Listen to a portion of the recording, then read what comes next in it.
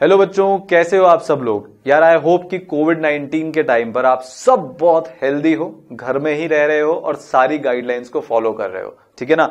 पिछली बार जो है, हमने एल्डोल हेलोफॉर्म और कैनिजारो को रिवाइज कर लिया था। ये थ्री मोस्ट इंपॉर्टेंट रिएक्शन है पूरी ऑर्गेनिक केमिस्ट्री के अंदर, खासकर कार्बोनिल कंपाउंड में तो इनसे इंपॉर्टेंट रिएक्शन कोई नहीं है।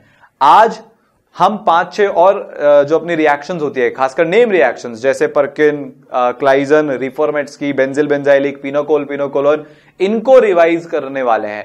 अभी मेरे को याद है 2016 में एक बहुत आसान सा क्वेश्चन जे एडवांस के एग्ज़ाम में आया था बेंजिल बेंजाइलिक से, ठीक है? 2018 में एक क्वेश्चन आया था नीट से। तो ये बहुत इंपॉर्टेंट और साथ में बहुत आसान रिएक्शंस है, जिनको हमको समझना है पहले। या देखो ई सरल में हम हर चीज़ पहले रीजन के साथ पूछते हैं कि क्यों?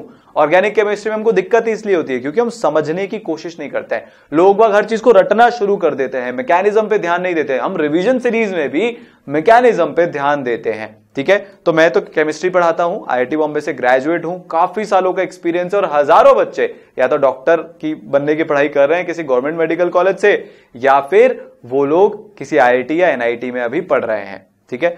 फिजिक्स अगर आपको पढ़नी है, आपको रिवीजन करना है आपको पूरी पूरी पढ़नी है तो सारांश गुप्ता सर फिजिक्स पढ़ाते हैं। बच्चे इनके ऐसे दीवाने हैं ना, सही बता रहा हूँ मैं। इतने खतरनाक वाले रिव्यूज़ आते हैं। फिजिक्स की पूरी रिवीजन सीरीज़ है। डिस्क्रिप्शन में आपको लिंक मिल जाएगा। आप एक एक रिवीजन सीरीज़ के जब कमेंट्स पढ़ के देखोगे ना आपको लगेगा कि फिजिक्स वही जो दीवाना बना दे।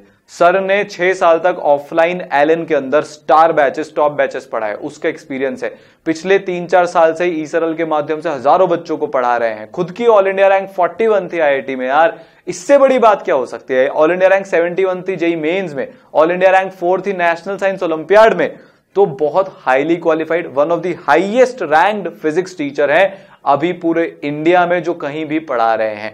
ठीक है? मैथ अगर आपको पढ़नी है, आप ई सरल की ऐप इंस्टॉल कर सकते हैं। आपको ऐप यहाँ से इंस्टॉल कर लेना, ऊपर क्लिक करके एन के गुप्ता सर पढ़ा रहे हैं। जो पिछले तीस साल से, ध्यान रखना, पिछले तीस साल से कोटा के अंदर हाँ भाई कोटा को तो सब जानते ही हैं, दो लाख से ऊपर बच्चों को पढ़ा चुके हैं। उनके पढ़ाए हुए कम से कम भी 300 से 400 बच्चों की अंडर 100 के रैंक आई है, चाहे वो जेई हो, नीट हो। नीट वाले स्टूडेंट्स को मेंटर करते थे, क्योंकि एलन करियर इंस्टीट्यूट में 10 साल तक वो vice president and academic head थे। ठीक है? तो इतने बच्चों की टॉप 100 टॉप 10 में 30 से ज़्यादा रैंक्स आई हुई है उनके मेंटर किए हुए बच्चों की। तो यार ऐसी फैकल्टीज से आपको पढ़ने का मौका मिल रहा है सिर्फ़ ई सरल में। ये इंडिया की बेस्ट एकेडमिक टीम है, जो एक्चुअली में ऑफलाइन में फोड़ के रैंक लाके, फिर ऑनलाइन में आई है, ताकि अब जो चीज़ हमने इतने सालों में, तीन लाख बच्चों को पढ़ा मिला जुला के जो हमने पढ़ा है, उनसे जो चीज़ सीखी, वो आप तक डिलीवर कर पाए। ठीक है? साथ में पूरी ईसरल की जो एक स्पेसिफिक चीज़ होती है मेंटरशिप उसके लिए अर्पित माहेश्वरी सर हैं, वो ईसरल के चीफ एडवाइजर हैं, वो बच्चों की जर्नी कैसी हो? अर्पित सर की ऑल इंडिया रैंक टू थी आईआईटी में। ऑल इंडिया रैंक सेवन थी मेन्स में और इंडियन फिजिक्स ओलंपियाड के गोल्ड मेडलिस्ट भी वो रह चुके हैं। तो यार इससे बेटर टीम आपको कहीं नहीं मिलेगी। फिर से एक बार आप ऐप इंस्टॉल कर लीजिएगा और हम अपना लेक्चर अब चालू करते हैं।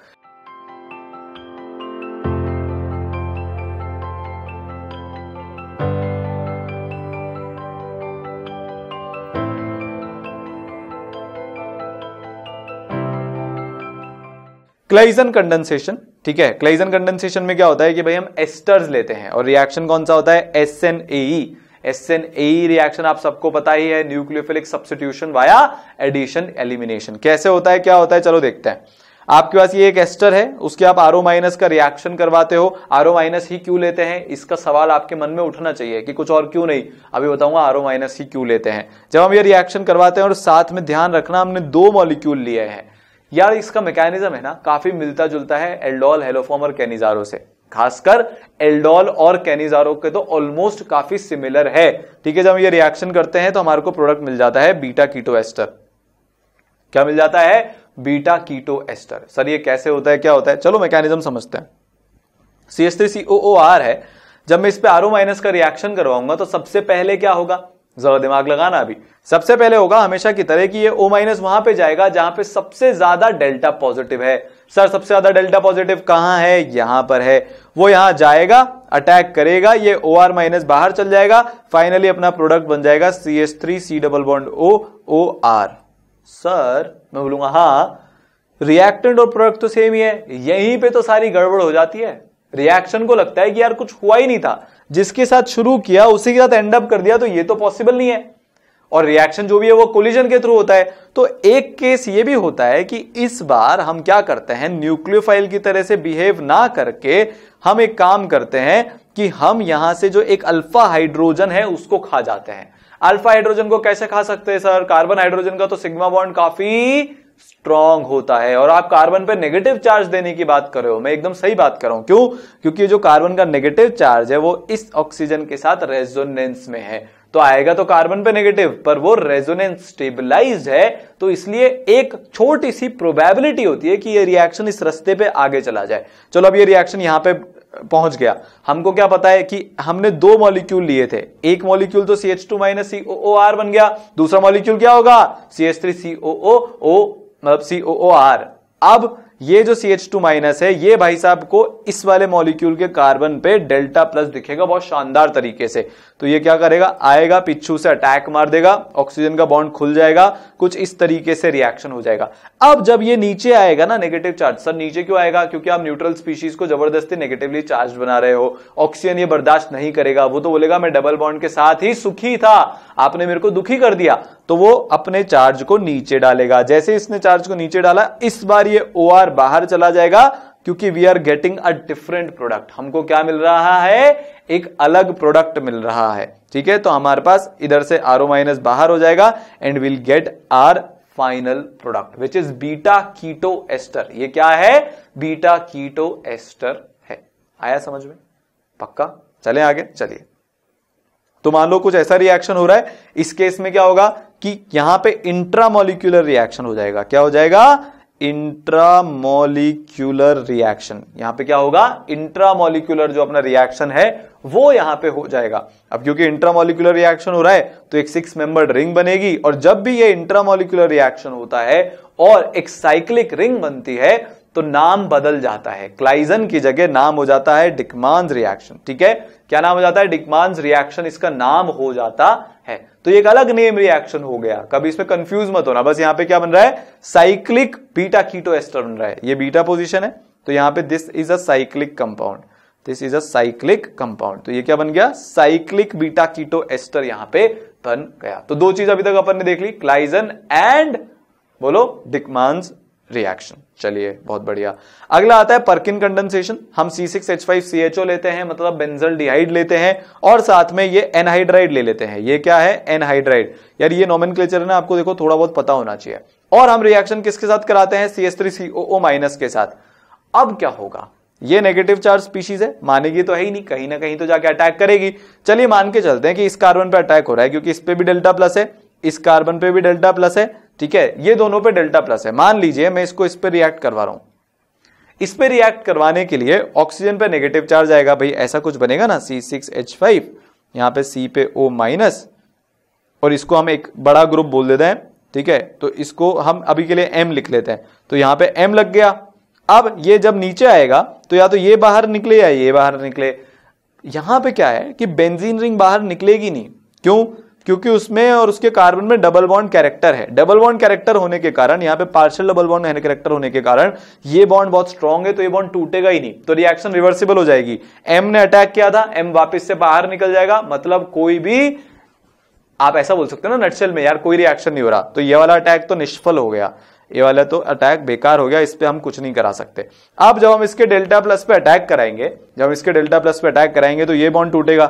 ये बॉन्ड टूटेगा तो बाहर क्या निकलेगा? C S three C double bond O minus तो जिससे अटैक कराया था एग्जैक्टली जिससे अटैक करा था, वही बाहर निकल गया। तो जैसे अभी क्लाइजन के समय पर हालत हुई थी एग्जैक्ट सेम हालत हो गई। तो यहाँ से आपको एक पैटर्न समझ में आ रहा है? जो ग्रुप बाहर निकलना होता है, उसी को आप नेगेटिव चार्ज देके रिएक्शन करवा लो। क्या करवा लो? उसी को नेगेटिव चार्ज देके रिएक्शन करवा लो। लोगों को लगता है, सर, यहाँ नेगेटिव चार्ज क्या है? भैया सोडियम है तो वो तो प्लस वन में ही रहेगा। तो वो किसमें रहेगा? माइनस वन में? इससे कंफ्यूज मत हो जाना एटलीस्ट ठीक है? इतनी आसान चीज़ से। है ना? तो यार, यही ग्रुप बाहर निकल रहा है, इसी का अटैक हो रहा है तो मतलब इस वाले कार्बन पे भी अटैक नहीं हो सकता। अब क्या किया जाए? आपको बाजू में एक अल्फ़ा हाइड्रोजन दिख रहा है। और जब भी हमको अल्फ़ा हाइड्रोजन दिखता है तो हमको पता है कि अब H को वहाँ से एब्स्ट्रैक्ट कर लिया जाएगा। यहाँ पे तो हीट भी दे रखी है। सो दिस महाशय this महाअनुभाव will work as a base ये बेस की तरह से काम करेगा। किसकी तरह से काम करेगा? बेस की तरीके से। तो ये इससे यहाँ पे एब्स्ट्रैक्ट कर लेगा। तो यहाँ पे इसको टू कर देते हैं। यहाँ पे माइनस आएगा। जैसे ही इस पे माइनस आएगा तो फिर ये इस पे जाके अटैक कर देगा। क्या कर देगा? अटैक कर देगा। और ये ग्रुप यहाँ से अलग हो जाएगा। तो हमारे पास देखो क्या क्या बना। हमारे पास एक तो बन गया हमारे पास कुछ इस तरह की स्पीशीज बनेगी। सी एस थ्री ने इधर अटैक किया। सी पर ये इधर ओ OH बना और इधर ये अपना क्या बन गया? ये अपना बन गया पी पीएच बन गया, ठीक है?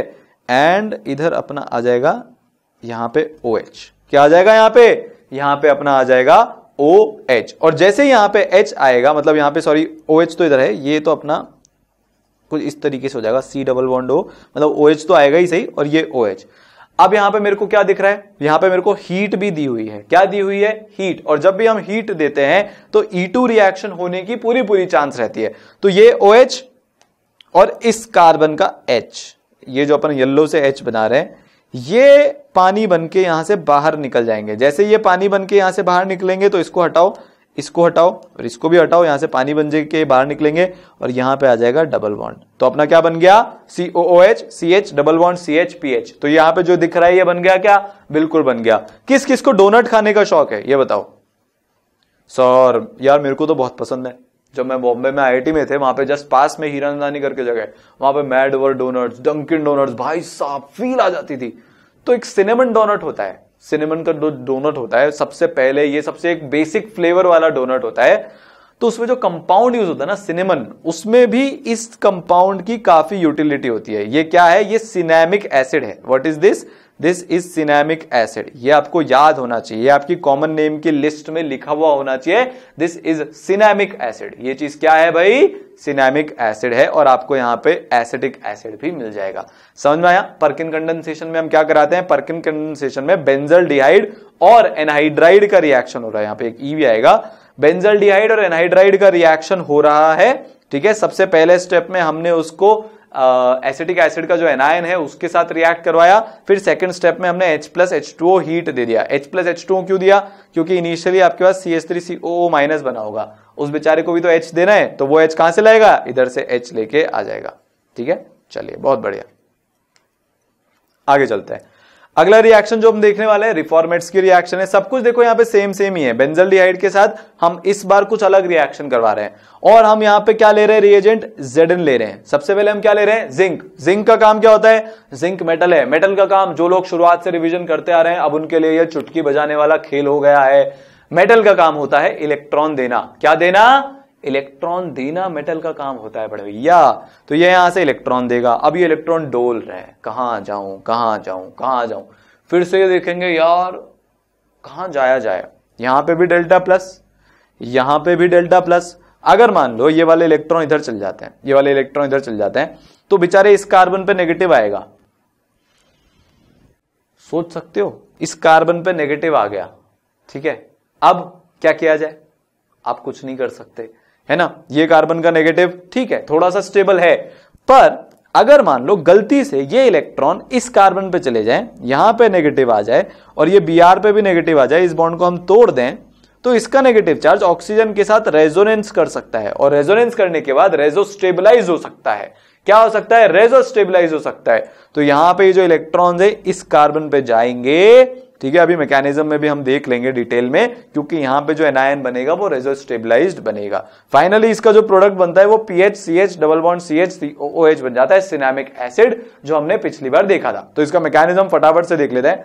जेड ने अपने इलेक्ट्रॉन्स दिए यहाँ पे जेड एन बी आर बन गया क्योंकि यहाँ पे नेगेटिव चार्ज है, इधर भी नेगेटिव चार्ज है तो जेड एन पे टू प्लस आया क्योंकि वो दो इलेक्ट्रॉन देता है, ठीक है? फिर इसके बाद ये एनआईएन बन गया तो ये एनआईएन बेंजल डिहाइड पे जाके अटैक कर देगा। बेंजल डिहाइड पे जाके अटैक करेगा तो ये स्पीशीज बनेगी।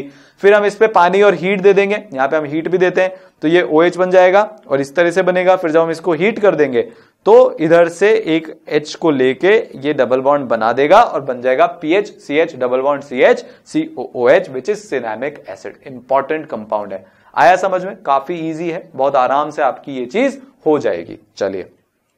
अगला, ये बहुत इंपॉर्टेंट है। This is very important benzil benzilic rearrangement या फिर बेंजिलिक एसिड रीअरेंजमेंट भी इसको बोला जाता है। क्या हो रहा है? कैसे हो रहा है? चलो देखते हैं। देखो, आप क्या करते हो? बेस कैटेलाइज रिएक्शन करवाते हो। किसका? वन टू डाई कीटोन्स का, जिससे कि एक सॉल्ट बनता है टू हाइड्रोक्सी कार्बोक्सिलिक एसिड का, इसको बेंजिलिक एसिड रीअरेंजमेंट बोला जाता है। और ये जो रिएक्शन है, ये मोस्टली केसेस में उन पे एप्लीकेबल है, जब अराइल ग्रुप प्रेजेंट होते हैं दोनों कार्बोनिल कार्बोन पे। सर, ये कौन सी भाषा है? इतनी बड़ी बड़ी भाषा आप क्यों लिखते हो? तो चलो रिएक्शन से समझ लो मेरे को क्या है। ये कौन से ग्रुप हैं? सर कार्बोनिल इनके साथ कौन अटैच है? सर अराइल ग्रुप्स तो मैंने क्या बोला था कि रिएक्शन किस पे होता है? जहाँ पे कार्बोनिल कंपाउंड्स के साथ अराइल ग्रुप अटैच्ड है। ठीक है? आया? और ये कौन से ग्रुप है? डायकीटो क्यों? क्योंकि यहाँ पे दो कार्बोनिल ग्रुप्स हैं। तो इसको बोला जाता है बेंजिल आप इस पे अटैक करवाते हो ओ OH माइनस का। अब ओ OH माइनस का क्या काम है? जहाँ जाएगा, जहाँ पे इलेक्ट्रॉन डेंसिटी कम है। मतलब पार्शियल पॉजिटिव चार्ज है। तो इस पे पार्शियल पॉजिटिव है। तो आएगा अटैक करेगा। अटैक करेगा तो फाइनली ये कंपाउंड बन जाएगा हम इसको H प्लस भी देते हैं। तो चलो इसका मैकेनिज्म देख लेते हैं। पर आपको समझ में आ रहा है ना यार हर बार होता क्या है? ये यहाँ पे गया ठीक है? अब देखते हैं क्या स्थिति बनती है। सो so, हमारे पास ये है हम इस पे OH माइनस का अटैक कराएँगे वो इधर अटैक कर देगा ये स्पीशीज बनेगी। अब ये तो बोलेगा कि भाई साहब मैं तो नीचे आऊँगा मैं कुछ नहीं जानता। तो या तो आप ओ OH को बाहर निकाल दो तो जहाँ से चालू किया था वहीं से हो जाएगा।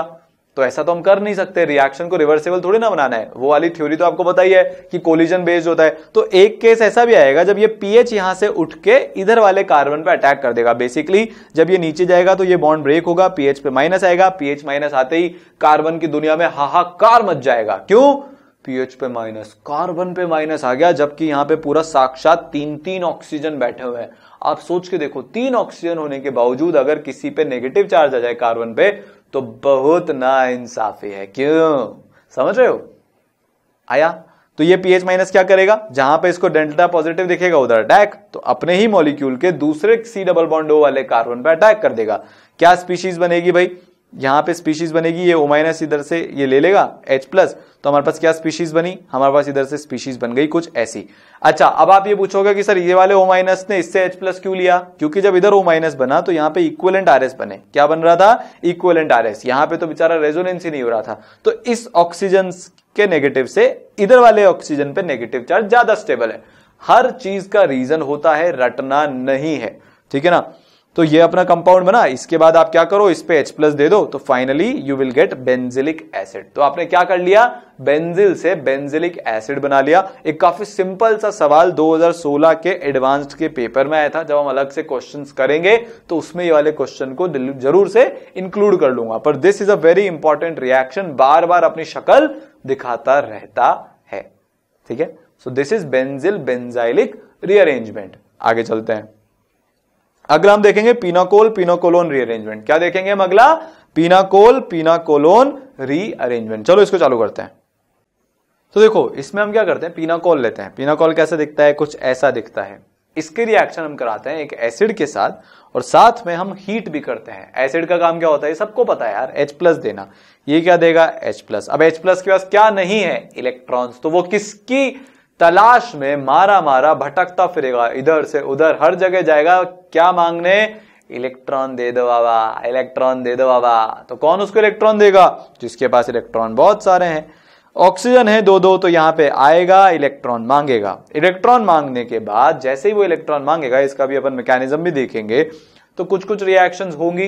कार्बोकेटाइन बनेगा। आपको बताया कि कार्बोकेटाइन जब बनता है और रीअरेंज होने की पॉसिबिलिटी होती है तो रीअरेंजमेंट भी होता है। उसके बाद जो फाइनल प्रोडक्ट बनेगा, वो बनेगा ये, जिसको हम बोलते हैं पीना कोलोन क्या बोलते हैं? पीना कोलोन तो क्या बन गया? पीनाकोल से पीनाकोलोन इसलिए बोला जाता है पीनाकोल पीनाकोलोन रीअरेंजमेंट ठीक है तो इसका मैकेनिज्म देखें। मैंने आपको बताया था H प्लस है, इसके बाद जाएगा this is a very good leaving group VLG है ये, छोड़ के बाहर भाग जाएगा तो इधर कार्बोकेटाइन बन जाएगा। कार्बोकेटायन बना, ठीक है? ये इस रिएक्शन का डिटर्मिनिंग स्टेप भी है, क्योंकि कार्बोकेटायन बनना मतलब आप कार्बन को चार स्पीशीज में कन्वर्ट मार रहे हो, और चार स्पीशीज बनना कार्बन को बिल्कुल नहीं पसंद। इसलिए this will act as an RDS ये डिटर्मिनिंग स्टेप भी यहाँ पे होगा। जैसे ये कार्बन इधर आया, पे प्लस आया, इसको पता यार, अगर मैं किसी तरह से यहाँ पहुँच जाऊँ ना तो ये ऑक्सीजन के जो लोन पेयर हैं, वो मेरे को एक कोऑर्डिनेट बॉन्ड बना के सेटिस्फाई कर देंगे। और कार्बोकेटाइन रीअरेंजमेंट में वन टू शिफ्ट होता है तो हम यहाँ पे एक मिथाइल को शिफ्ट करा देंगे, ठीक है? ये वाला मिथाइल इधर चला जाएगा, ये जो मिथाइल है टूट के इधर चला जाएगा वन टू मिथाइल शिफ्ट हो जाएगा, और हमको मिलेगा ये वाली स्पीशीज इस वाली स्पीशीज में फिर जो ऑक्सीजन है, वो लोन पेयर डोनेट कर देगा। जैसे इसने लोन पेयर डोनेट करे तो यहाँ पे आ जाएगा डबल बॉन्ड ये प्लस चार्ज इधर से हटके किधर आ जाएगा? प्लस पे। ऑक्सीजन पे प्लस रखोगे हाइड्रोजन पे। सर ऑब्वियसली आप हाइड्रोजन पे प्लस रखो तो ये हाइड्रोजन इधर से चला जाएगा, बाहर H प्लस बन के निकल जाएगा, जो आपको यहाँ पे दिख रहा है। आया समझ में कि हम क्या करते हैं, कैसे होता है? बहुत स्टैंडर्ड चीज़ है, इतनी बार कर चुका है। ऑर्गेनिक में बार बार सेम ही चीज़ रिपीट होती रहती है। एक बार अपने बेसिक्स अपन ने फोड़ ली ना यार तो फिर देखो क्या हम मचाने वाले हैं। ठीक है ना? क्या बन जाएगा हमारे पास? ये स्पीशीज बन जाएगी। ठीक है?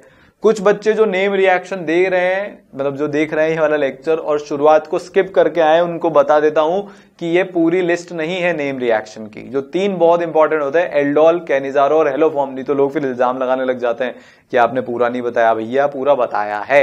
और भी बाकी जो नेम रिएक्शन होते हैं वुड्स रिएक्शन कोलबे वो सब अपने अपने चैप्टर्स में है। कोई हाइड्रोकार्बन में एल्कोहल में ईथर में फिनॉल में हेलो एल्केन हेलो एरिन में, सब अपनी अपनी जगह पर है। कवर पूरा किया गया है। इसलिए हमेशा बोलता हूँ पूरी ऑर्गेनिक केमिस्ट्री की रिवीजन सीरीज़ देखनी है। वो आपको डिस्क्रिप्शन में लिंक मिल जाएगा, वहाँ से जाके आप लोग देख लीजिएगा। क्या बन गया हमारा पीना कोलोन सीखने की सबसे मेजर बात क्या है कि कार्बोकेटाइन इंटरमीडिएट है और उसमें फिर रीअरेंजमेंट होगा। अब इस पर्टिकुलर रिएक्शन का माइग्रेटरी ऑर्डर होता है कि भाई कौन सा ग्रुप शिफ्ट होएगा। ये एकदम स्ट्रिक्टली फॉलो किया जाता है। हर बार ऐसा ही होगा विदाउट एनी अदर कंसिडरेशन कोई एक्सेप्शन नहीं है। अगर हाइड्रोजन के पास ताकत है मतलब हाइड्रोजन अवेलेबल है वन टू शिफ्ट मारने के लिए तो पहले हाइड्रोजन ही शिफ्ट होगा, फिर फिनाइल होगा, फिर थ्री डिग्री फिर टू डिग्री फिर वन डिग्री आया समझ की नहीं आया? सबसे पहले हाइड्रोजन फिर फिनाइल फिर थ्री डिग्री फिर टू डिग्री फिर वन डिग्री ये बहुत इंपॉर्टेंट है। आपको this you have to learn ऐसा क्यों होता है? उसकी बहुत सारी डिटेल्स हैं, बहुत सारे फैक्टर्स हैं, उनमें यहाँ नहीं जाएँगे, ठीक है? पर H more than P H more than three degree more than two degree more than one degree ये माइग्रेटरी ऑर्डर होता है। कुछ एक अच्छे क्वेश्चन कर लेते हैं इस पे, भैया, जब हम इसमें करेंगे रिएक्शन को, और जब हम एच प्लस देंगे तो कार्बोकेटाइन किधर बनेगा? वो आपको सोचना पड़ेगा। जहाँ पे ज़्यादा स्टेबल बनेगा ना स्टेप वन में, वैसा अपने को करेंगे। तो यहाँ पे कार्बोकेटाइन बना, यहाँ का ओ OH निकलेगा, क्योंकि इधर का कार्बोकेटाइन ज़्यादा स्टेबल है। हमको देखना होता है कि भैया पहली बार किस ओ OH पे अटैक होगा, या दोनों तरफ़ से सोच सकते हो। ये ओ OH पे थोड़ा सा डेल्टा नेगेटिव ज़्यादा होगा, क्योंकि इन दोनों का प्लस आई लगा है। वो बात एक ही पड़ती है, किसी भी तरीके से सोच लो। तो पहले इधर प्लस बनेगा, फिर इधर जो हाइड्रोजन है वो शिफ्ट हो जाएगा, ठीक है? तो वो शिफ्ट होकर किधर चला जाएगा? इधर चला जाएगा, और ये प्लस चार्ज शिफ्ट होकर किधर आ जाएगा? इधर आ जाएगा। कुछ ऐसा दिखेगा ये फाइनली है ना? इसको हटाते हैं यहाँ से, ताकि आपको ये याद रहे। और फिर ये अपना ऑक्सीजन जो है लोन पेयर इधर देके डबल बॉन्ड बना लेगा एच प्लस यहाँ से बाहर हो जाएगा। Finally we will get this compound ठीक है? एक और बहुत अच्छा क्वेश्चन करते हैं। इसमें एक अच्छी बात यह है कि अब कंफ्यूजन हमारे पास यह है कि हम पॉजिटिव चार्ज को किधर डालें? अगर मान लो यहाँ पे ये पीएच नहीं होता और सी होता तो भी जो पॉजिटिव चार्ज है ना, वो इसके पास ही आता। भाई, अभी इस वाले हमारे केस में तो क्या है कि यहाँ पे पॉजिटिव चार्ज आएगा तो वो दो लोगों के साथ रेजोनेंस कर सकता है, दो पीएच के साथ। तो यहाँ पे पॉजिटिव चार्ज ज़्यादा स्टेबल है। तो पॉजिटिव चार्ज यहीं पे बनेगा। पर अगर मान लो, यहाँ पे मैं पीएच की जगह सी लगा देता तो भी पॉजिटिव चार्ज इधर ही बनता। ऐसा क्यों सर क्योंकि हमको फाइनली ये वाला बॉन्ड ब्रेक करना है। ये वाला बॉन्ड ब्रेक करना है दोनों केस में। जो आइसोटोप्स के साथ, हायर आइसोटोप के साथ जो बॉन्ड होता है कार्बन का, चाहे वो सी डी बॉन्ड की बात करें, चाहे सी ओ एटीन बॉन्ड की बात करें, ये स्ट्रॉन्गर होते हैं क्योंकि बॉन्ड स्ट्रेंथ ज़्यादा होती है हायर वाले आइसोटोप्स के साथ। तो हमारे को तो ऑक्सीजन पे प्लस किसको देना पड़ेगा? इसी को एच प्लस देना पड़ेगा। यही जाएगा। इसका ब्रेक होना इजियर है। तो पॉजिटिव चार्ज इधर बना। ठीक है? पॉजिटिव चार्ज क्या बना? इधर बना पॉजिटिव चार्ज ठीक है? ये इधर से गया। हमारे को क्या पता है? स्ट्रिक्ट माइग्रेटरी ऑर्डर में पीएच सीएच थ्री से पहले आता है। तो माइग्रेशन किसका होगा? माइग्रेशन होगा पीएच का, जिस पे मैंने गोला कर रखा है, इसको तो गोला हटा रहे हैं। माइग्रेशन किसका होगा? पीएच का माइग्रेशन होगा। पीएच माइग्रेट होने के बाद एक कार्बन पे आ जाएँगे तीन पीएच इधर ये सी थ्री और डबल बॉन्ड ओ एटीन यहाँ पे बनेगा। ठीक है? क्लियर हुआ? आ रहा है समझ में? चलिए, बहुत ही बढ़िया। तो आपसे किस तरह से पूछे जा सकते हैं question? This is a multiple correct option question आपसे बोला गया है कि प्रोडक्ट फॉर्म जो है, ये तो मैंने ऑलरेडी मार्क कर रखा है आंसर कि उसमें डी यू तीन है डी यू मतलब डबल बॉन्ड या अनसेचुरेशन स्पाइरो कंपाउंड है बायसाइक्लो कंपाउंड है कार्बोनिल कंपाउंड है। आपको मोर देन वन करेक्ट के रूप में इसको देखना है। तो जब हम इसको कराएँगे तो सबसे पहले जो अपना एच प्लस है H प्लस किधर जाएगा? इस वाले ओ OH पे जाएगा। दोनों पोजीशन आइडेंटिकल है, किधर भी जा सकता है। तो इधर प्लस चार्ज आएगा। इधर वाले प्लस चार्ज को रोकने के लिए, इस वाले प्लस चार्ज को इधर शिफ्ट मारने के लिए, ये रिंग क्या करेगी? एक्सपैंड कर लेगी। रिंग एक्सपैंड करेगी तो हमारे पास कैसा फाइनल कंपाउंड क्या बनेगा? ये बनेगा। तो इसमें क्या है? ये स्पाइरो लिंकेज है जिसको मैंने ब्लू से मार्क कर दिया है। और एक रिंग फाइव मेंबर्ड है, एक रिंग फोर मेंबर्ड है और ये कार्बोनिल कंपाउंड भी है। डी कितना है? एक इस रिंग का, एक इस रिंग का और एक इस डबल बॉन्ड ओ का। तो डी तीन है, ये सही है। स्पायरो कंपाउंड है, ये भी सही है। बायसाइक्लो नहीं है। बायसाइक्लो क्या होता है? जिसमें जो जुड़ाव होता है, वो कुछ इस तरीके से होता है। दो कार्बन से जुड़े हुए होते हैं। सिंगल कार्बन से जुड़े होते हैं तो स्पायरो ठीक है? और कार्बोनिल कंपाउंड तो है ही सही। आ रही है कि नहीं आ रही है बात समझ में? है ना? तो यार देखो, हम बहुत दिल लगा के ऑर्गेनिक का रिवीजन कर रहे हैं। आपको ये चैप्टर भी अब देखो खत्म हो गया है। आप ईसरल के ऐप जब इंस्टॉल करेंगे ना तो वहाँ पे आपको कार्बोनिल कंपाउंड में ये सारी चीज़ें दिखेगी।